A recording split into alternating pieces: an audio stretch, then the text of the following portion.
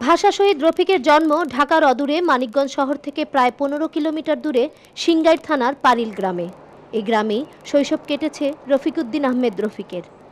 মাঝখানে কয়েক বছর কলকাতায় থাকার পর আবার তিনি ফিরে আসেন এই গ্রামেরই কোলে। এই গ্রামেরই এক কোণে রফিকের বাড়ি। বৃত্তাকারভাবে সাজানো অনেক কয়টি ঘরের একদিকে শহীদ রফিকের আদি ঘর, অন্যদিকের ঘরগুলো নির্মিত হয়েছে সম্প্রতি। এর একটিতে গড়ে তোলা হয়েছে শহীদ রফিক পাঠাগার। যদিও পাঠাগারের কাজ এখনও শেষ হয়নি। পাঠাগারের পিছন দিকে খুব অপরিকল্পিতভাবেই নির্মাণ করা হয়েছে ছোট্ট একটি শহীদ মিনার। প্রতি বছরই একুশে ফেব্রুয়ারির দিনে গ্রামবাসী সহ আশেপাশের বিভিন্ন স্কুল, কলেজ ও সংগঠন থেকে ফুল দিয়ে শ্রদ্ধা জ্ঞাপন করা হয়। এ বাড়িটিতে বর্তমানে রফিকের ভাই আব্দুল খালেকের বিধবা স্ত্রী ও সন্তানেরা বাস করে।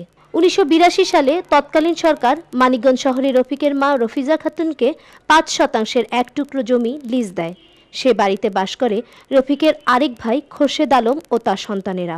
দুই হাজার এক সালে শহীদ রফিককে প্রথমবারের মতো মরণোত্তর একুশে পদক দেয়া হয় এবং কয়েক বছর আগে ঢাকা সিংগাই সড়কে ধলেশ্বরী নদীর উপর নির্মিত সেতুর নাম দেয়া হয়েছে শহীদ রফিক সেতু।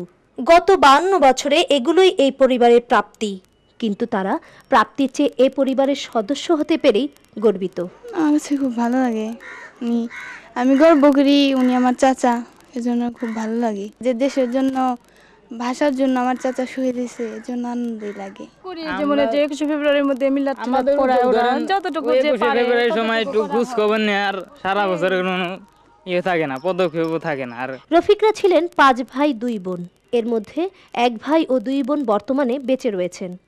তাদের কাছে রফিকের ব্যবহৃত কাপড় ও নিজ হাতে বোনা সূচিকর্ম শুধুই স্মৃতি। শোনা যায় রফিক ছড়াও লিখত, কিন্তু সময়ের সাথে সাথে সেগুলো হারিয়ে গেছে। যে খবর আসলো যে আমার ভাইয়ের বন্ধু আসলো। সকালবেলা এসে খবর বলল, তারপরে সবাই বিয়ে বিয়ে ঠিক করতে আসছিল আব্বা তারপরে সবাই গেল যে এত লাশ পা নেই কিরে ফেলাইছে? আছে আমার আব্বাই তখন অনেকেই এর থেকে টাকা পয়সা দিতে চাইছিল। তখন আব্বাই বলছে যে, আমার ছেলে চলে গেছে, আমি টাকা দেখি আম্মা যে, আমি টাকা চাই না। টাকায় কি আমার মা বলবে? ফেব্রুয়ারির প্রথম দিন থেকেই ভাষা আন্দোলনকে মনে রেখে প্রতি বছর গ্রহণ করা হয় সরকারি বেসরকারি বিভিন্ন কার্যক্রম। গ্রহণ করা হয় মাসব্যাপী বিভিন্ন অনুষ্ঠান।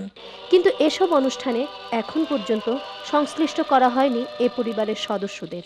ভাষা আন্দোলনের অমর সৈনিক রফিক ও অন্যান্য শহীদদের আত্মদানের মধ্য দিয়েই আমরা পেয়েছি মায়ের ভাষা বাংলায় কথা বলার অধিকার। শুধুমাত্র ফেব্রুয়ারি মাস এলেই আমাদের মনে পড়ে কথা। বেশি করে মনে পড়ে শহীদদের কথা। খোঁজ খবর করি তাদের পরিবারগুলোর।